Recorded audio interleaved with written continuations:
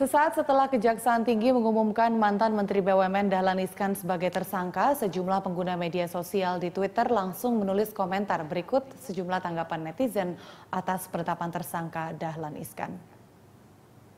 Dari akun Twitter Tommy Soeharto, at Soeharto Tommy, satu persatu Menteri Pak SBY kena.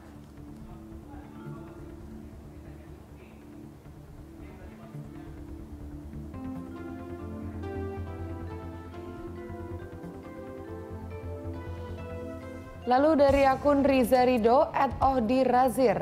Padahal Iskan tersangka, kira-kira memang sengaja korupsi atau salah administrasi?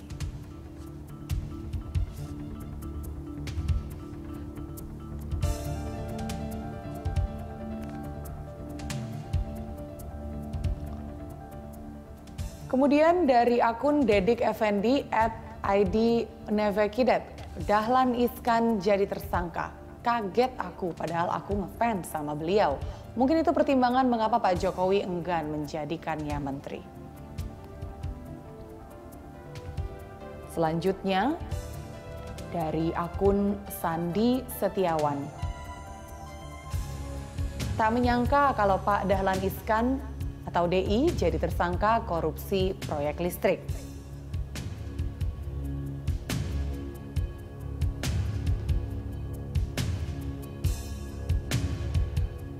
Dan terakhir dari akun Tuti Arianti, Pak Dahlan Iskan tersangka harus percaya sama siapa lagi rakyat.